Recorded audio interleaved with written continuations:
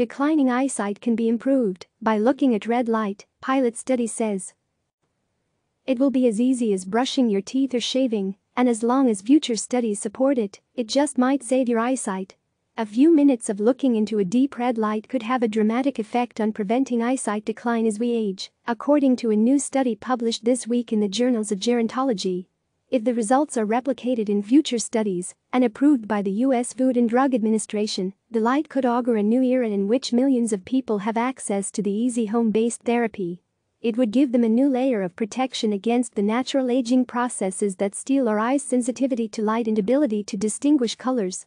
You don't need to use it for very long to start getting a strong result, said lead author Glen Jeffery, a professor of neuroscience at University College London's Institute of Ophthalmology. The science works, Jeffery said, because the light stimulates the health of mitochondria, which are like batteries in our cells. And because mitochondria are implicated in a broad range of diseases, insights like these could help lead to new treatments for diseases including Parkinson's and diabetes. All it takes is a few minutes. The study was small, a pilot study to test the concept.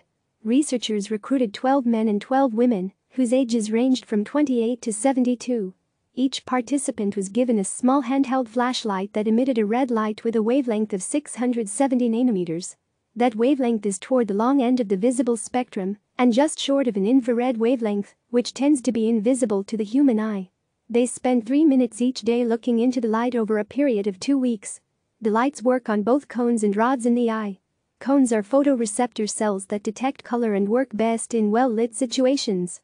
Rods, which are much more plentiful, are retina cells that specialize in helping us see in dim light, according to the American Academy of Ophthalmology. Researchers measured the cone function in subject size by having them identify colored letters with low contrast. And they measured their eyes' rod sensitivity by asking them to detect light signals in the dark. There was a 14% improvement in the ability to see colors, or cone color contrast sensitivity, for the entire two dozen participants. Improvement, however, was most significant in study participants over age 40. For those ages, cone color contrast sensitivity rose by 20% over the course of the study. That age bracket also saw significant increases in rod threshold, which corresponds to the ability to see in low light. Study participants under 40 also experienced some improvement, but didn't see the same jump as older subjects. Younger eyes haven't declined as much as older eyes, the retina ages faster than any other organ in your body, Jeffery said. From an evolutionary perspective, we fundamentally have never lived past 40. Now, of course, we regularly live well beyond that age and need ways to nurture the organs that for millennia have been the most likely to wear out earliest in life. Adults ages 40 and higher are, are at the highest risk for eye diseases such as cataracts, diabetic retinopathy, glaucoma and age-related macular degeneration, according to the U.S. Centers for Disease Control and Prevention. These diseases can occur in young people, but their prevalence increases with age. At the beginning stages, these conditions are treatable, although they can start creeping in before symptoms appear.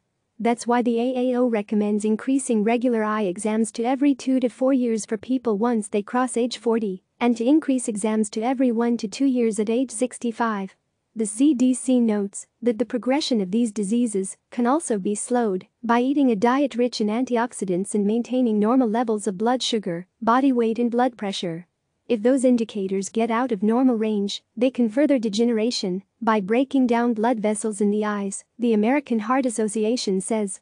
It's easy and safe to use this new study in humans builds on results in fruit flies and in mice, which also showed that red light could improve the functioning of mitochondria. For instance, a 2015 study showed that near-infrared light could spur energy production, improve mobility and extend the lifespan of fruit flies. And a 2017 study of visible red light at the edge of infrared reported a 25% improvement in the functioning of retinas in mice.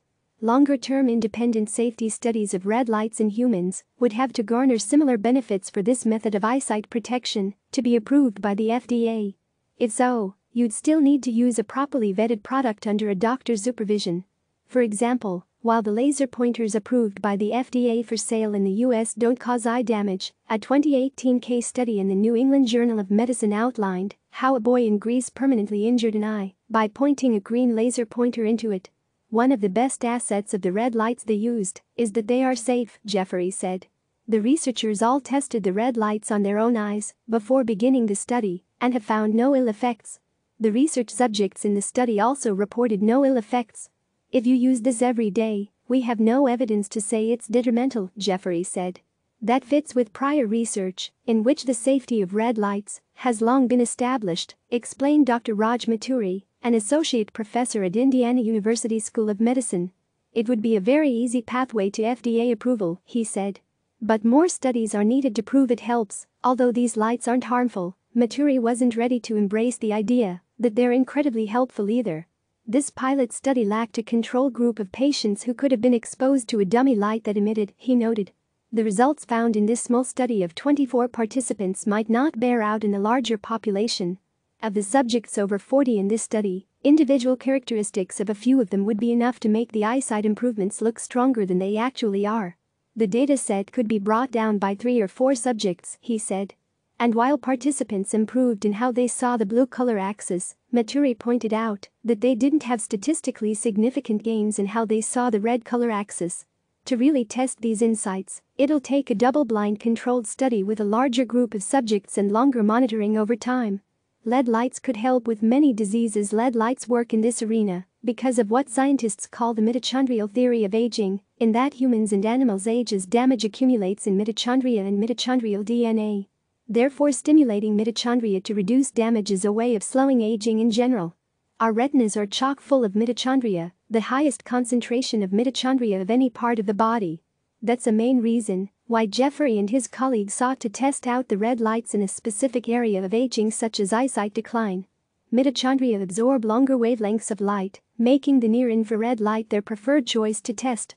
Red lights can improve function in a range of diseases, particularly in the mitochondria in those undergoing aging with conditions such as Parkinson's, he noted. Every disease could have a mitochondrial angle, Jeffery said. In diabetes, for instance, your mitochondria are very upset. Each application carries that same human desire to fend off processes that are both natural and universal. We're all going to suffer from aging. So let's try to go gently if we can, he said. Click subscribe to receive the latest news.